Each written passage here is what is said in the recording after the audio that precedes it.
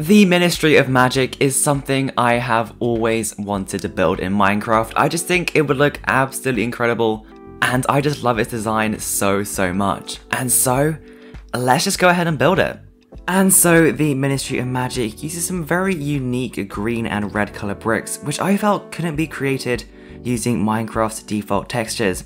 And so the first thing I did was to create some custom textured bricks using the default stone brick texture as a base to draw upon and once I was happy with the texture I had made, I began to make this fountain that appears in the main atrium to act as a sort of marker for the scale I was going to build at. And as usual, this world will be free to download for my Patreon members, and let's say this video hits 2,000 likes, I'll make the world download public for everyone to download. And you know, while you're down that like in the video, a subscribe to the channel would be hugely appreciated.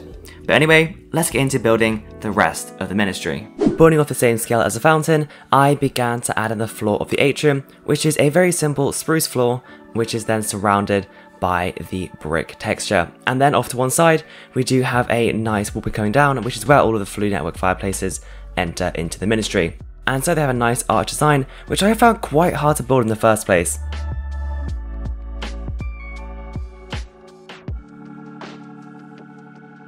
And so I took a few attempts until I was happy with it, and then I simply repeat it down all the way down the walkway.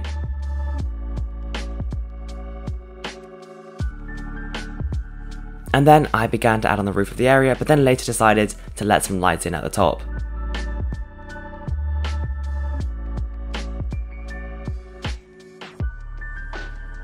And there we go, we had the main walkway area into the Ministry of Magic now done, which of course led into the atrium.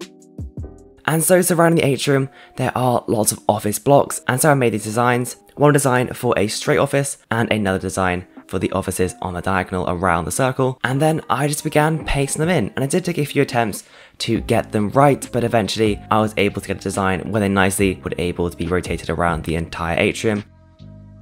And so once I was done, I simply went and pasted them around the entire area.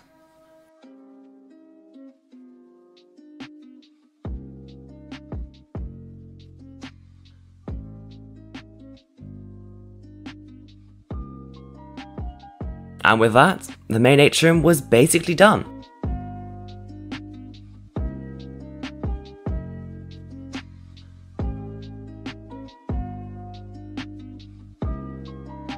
And so there is a large archway which leads into the next area of the ministry, and that is what is going to go into this massive gap right here. And I did take a few attempts to get ready, it did put me into a bit of a slump for a while, however finally I returned to this world and I was able to build the archway which is at a slight angle and does go into the next area.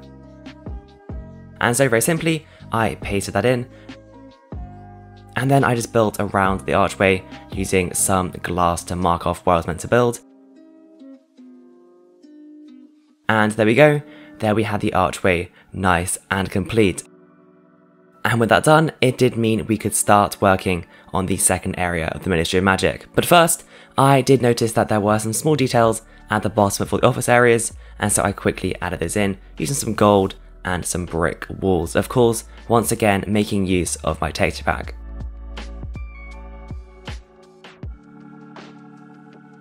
And then also I added in some drain decorations around the fountain to be more accurate. And then with that done, we can now begin the second cylinder.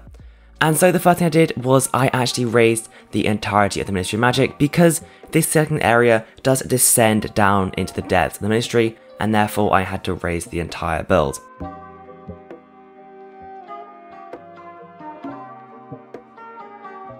And once again, I employ the same technique of making a cylinder using some glass blocks to mark off where the archer is going to enter into this area.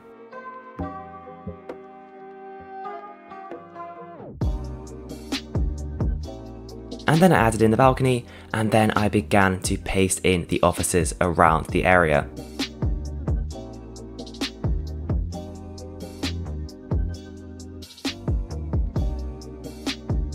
And what is special about this is there is a large pedestal in the center for a statue. And this was the first ever organic statue I have ever really built really, so I don't have much experience with statues at all, and so it did take me some time to get started, but I did build a simple skeleton and then began to build upon it. However, I did find the flowing shape of the robes extremely difficult to pull off. However, eventually I did come up with something that I was reasonably happy with, but it was very difficult and it certainly could do with some more improvement.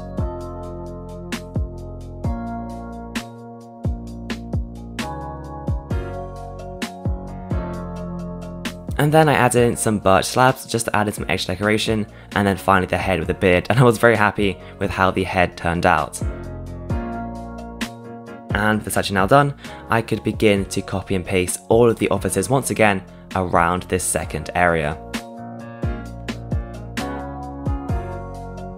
And it certainly does make the view from the atrium much, much more stunning with the addition of the statue. And so I began to add in some details into this second archway, which will lead into the third area, which has a nice little observation deck and some lovely nice details with some, I say more scenery offices surrounding the top, which have some larger windows and some nice decorations around them. And with that done, we can now once again begin filling in the cylinder around the area just to make it slot nicely into the area.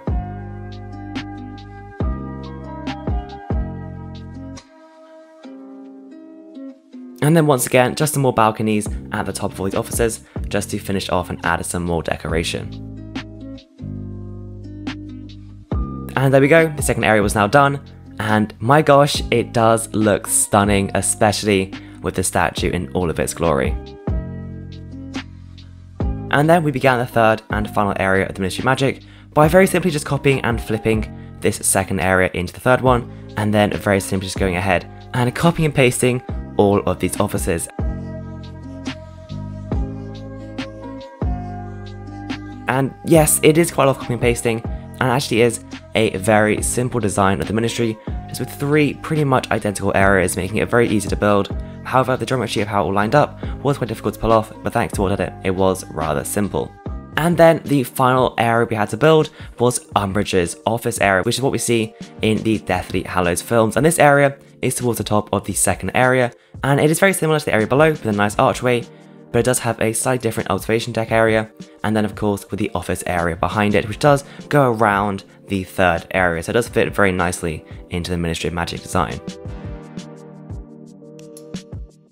And I very much enjoyed using the white colour palette since it just contrasted so much with everything else that we had just built. And with that done, the only thing we had left to do was to add in the domes which go on the top of all of the three areas. And so using a sphere, I cut off the top and simply made a dome designer for the top and then pasted those onto all of the areas. And then finally, while spawning on livestream, someone did suggest to build the massive poster of Cornelius Fudge. I tried my best and I'd say it's modern art, it's Minecraft, it's pretty hard to build pixel art, but there we go, I paste that in and it does just add an extra sense of being complete to the atrium. And so, that is the ministry now complete. Let's take a look at what we've done.